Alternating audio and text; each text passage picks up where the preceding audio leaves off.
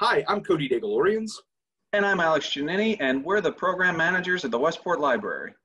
And this is 10 Questions with uh, short video interviews with our favorite authors while they and we are stuck at home.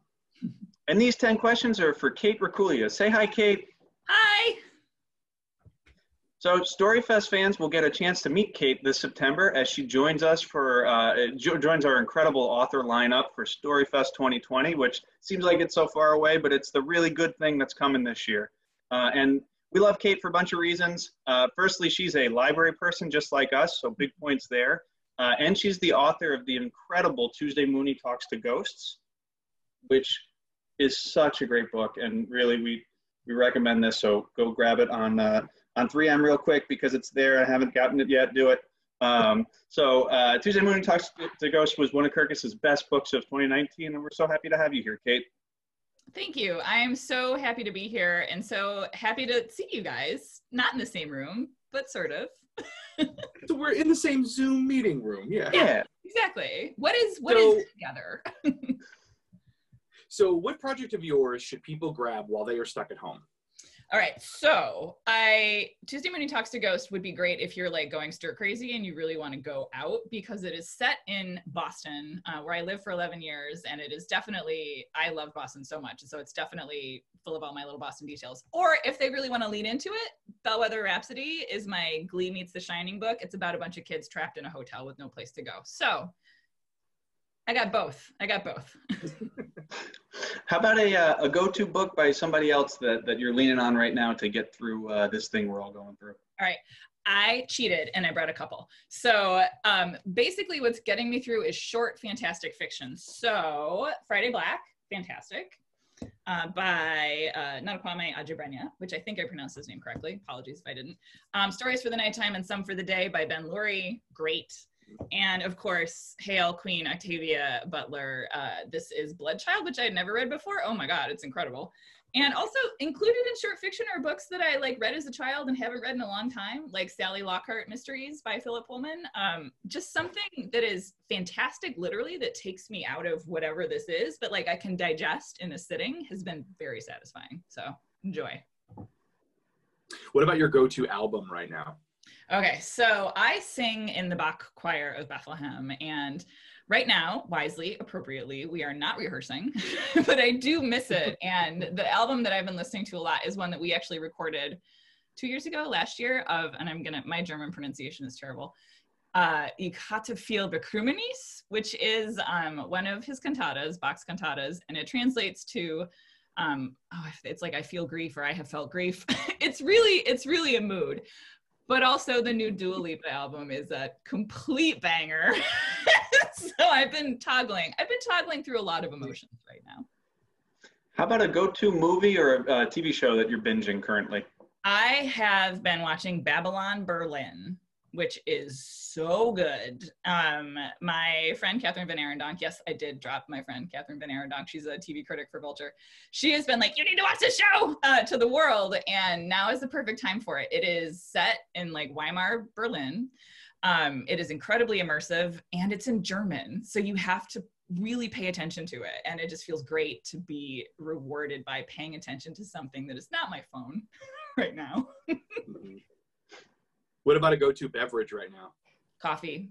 Like I just I'm trying not to drink so mm-hmm. much because like I'm not as active during the day, so I don't sleep as well as night. But like just a little bit of coffee is such a comfort.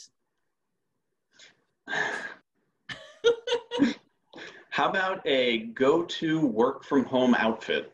Um, I don't have a full like actual outfit that I would recommend, but I've really been appreciating socks lately. like like there's something about because I do a lot of um I have a lot of gigs. I do a lot of things either from home or part-time jobs. And now that everything is sort of like virtual, I'm having a harder time separating, well, this is my this is what I wear when I go out in the world to work part-time at my library, Bethlehem Area Public Library. Props. Um, so something about wearing the socks feels like, even though I don't put my feet into shoes, it feels like I'm I'm ready. They're like, I'm ready to work when I have my socks on. I can't explain it, but that's really the only consistent thing that I notice elevates my mood if I put on socks in the morning. Where's the go-to place you'd rather be right now? Uh, when I was a kid, my family and I would go to um, Oneida Lake, uh, Sylvan Beach area uh, in upstate New York, and we would just go for two weeks for a vacation and hang out. And um, you know, it was the '80s. We did not have cable. We had like three stations of TV, and I would read and play games and eat a lot of pie. And it was just a really wonderful, calm, beautiful place. So I would go there. How about a, uh, a go-to time waster, guilty pleasure or otherwise? So I've been taking a lot of pictures of my cats um, and sharing that cat content, that hot cat, cat content on Instagram. Um, so I live by myself, so it's just me and my cats, and we are very close, but like they're just adorable. and I've just been really enjoying going on like little photo essays with my cats. So, who would be the go to person you'd like to hear answer these questions? Uh, the first person I thought of was Kermit the Frog because I find Kermit the Frog just enormously comforting um, and very wise and small and green. Um, but barring him, Margaret Atwood, I feel like she would also, she's not small and green, but would also be very sort of wise and comforting and Canadian. How about a go to nostalgia um, a go-to nostalgia bombs. First time I miss, messed up. Uh, go-to nostalgia bomb that brings you to a happy place. Okay, so I um, still use Pandora, and I have this incredibly carefully curated Pandora station just called Valerie Radio, and it is built around Steve Winwood's epic '80s banger Valerie. And I've just really been been enjoying that kind of like 80s adult contemporary music that is up tempo but you know because everyone it's like bruce hornsby and Dave, uh, steve winwood they're right they're like in their 40s they've like no regret. So it's like sad but up tempo.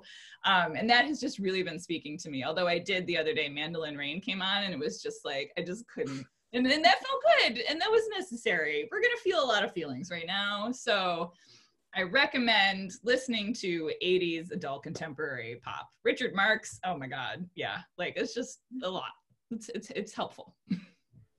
So, how can people find you online, especially to get that cat content? Where oh. can they find you uh, on the internet? So the cat content is um, on my Instagram, which is uh, at Gomez Rack. My uh, tuxedo cat is named Gomez. Um, and you can find me on just my name, kateracculia.com, and at Twitter, which I have been a little more online lately, um, uh, at Kate Racculia also. I'm the only Kate Racculia there is, as far as I know. So if you Google me, you'll find me. Thank you, Kate, for taking like a couple minutes out of the day uh, with, with, socks or without. I'm, I don't know. Oh, oh, I have socks on. Do you want to see them? They're really seriously. Yeah, yeah. They've got like cats on perfect. them. Like oh, like perfect. Yeah. so you know she's serious. Yes, I'm serious. These are my business socks right now. Thank you for taking some time out to talk to us and answer these questions. We really, really appreciate it. And it was a lot of fun too. Thank you so much for having me. So if you want to check out more of the 10 questions with, you can head over to the library's website, which is westportlibrary.org to uh, rewatch this one or watch uh, any of the other ones that we have there. So thanks again, Kate. Thank you.